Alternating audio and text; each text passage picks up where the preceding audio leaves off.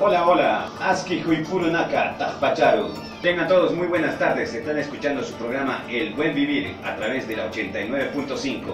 Eh, el programa del, del Buen Vivir, Sumacamaña, Ucumafelen, eh, es un programa intercultural y bilingüe. Lo hacemos con invitados porque viene la gente de la misma comunidad. El Buen Vivir es algo que están planteando todos los, los pueblos originarios junto a un sistema de vida y eso se plantea a través de lo comunitario. Se entiende que hay una sola manera de entender el mundo, habían otras formas de organización social, otra forma de entender la justicia, otra forma de, de entender la salud, otra forma.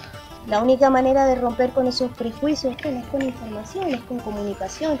Nosotros, por eso, como programa, apuntamos a que esta interculturalidad sea revalorizada y sea puesta en práctica, tipo, para que una persona viva en armonía y viva tranquila.